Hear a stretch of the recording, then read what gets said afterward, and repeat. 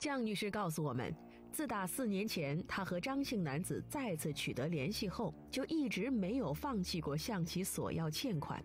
但是对方却只是口头应允，还款日期却一拖再拖。其实现在事情僵在这儿，这位先生的态度非常的关键。我们和他尝试一下做一个连线，看看有没有可能得到他的回复。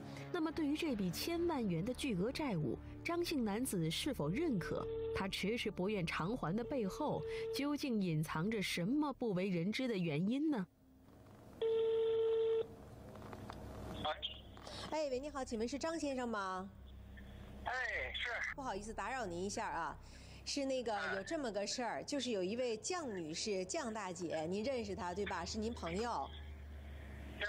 哎，她跟我们说呀，说是您这几年前呢，反正因为各种原因吧，这个欠了她一笔钱。我想知道您现在就是您您您认可这件事儿吗？啊，这认可认可。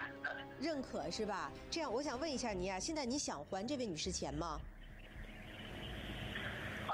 就是挣要边挣钱边还呗。这个数字您现在认可的是多少啊？您能告诉我吗？数字那个我不认可他那个那个他三年那个二年那个利息给我算了八百七百多万，将近八百万。呃，对。我受不了了，对。您是承受不了这个利息？承受不了是。呃，那您您觉得您欠女士多少钱呢？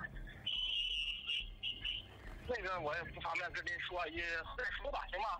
那您这样吧，我这真没法回答您，因为我要这什么，您我这有点事儿，因为我嗯。